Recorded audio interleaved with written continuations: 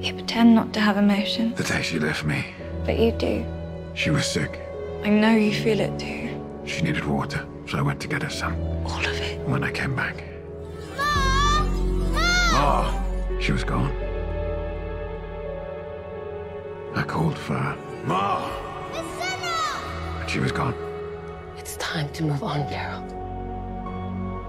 It's time for you to find what you let go of. Find Geralt of Rivia. She's your destiny. He is your destiny.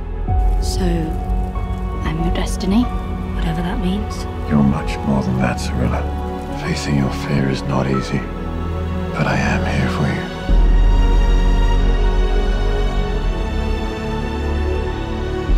All I want is for us to stay together.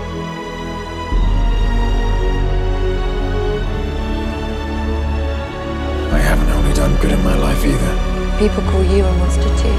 What is this girl to you? The girl. Why do you care? Yours? Mine. I had to save her.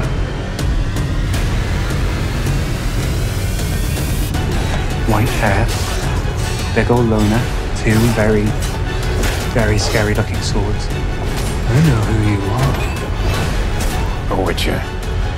Geralt of Rivia. She means family. You know nothing about that. Her mother cared so little she discarded you. What if I'm just not good enough? Your power is beyond measure. Geralt, wherever you're going, please come back.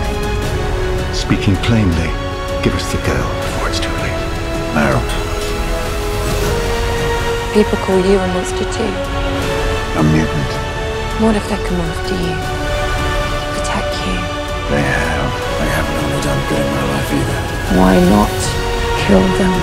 Because then, if I have to choose between one evil and another, I am what they say I am, then I prefer not to choose at all. I won't let anything happen.